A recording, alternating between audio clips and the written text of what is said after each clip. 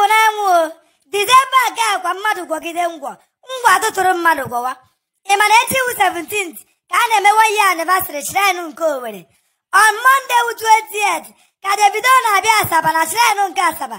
Nna anyị 46 ịtago ụkwaje eze imego ihe ị ga-eme ka dị mba ewuchi m. Mpa ngwọrị egbuole gị n'ụwa nke ị pụtara.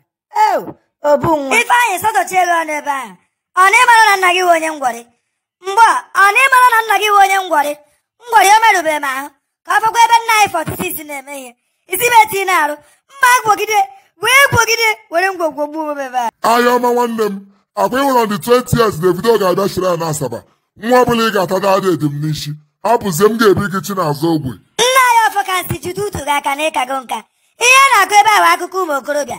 Siri anyị bebi ekweghị m nkwa na ọ ga-ebi ime ofu nwa from okopoli a na-akpọ Merilian ya ka m meriri adị.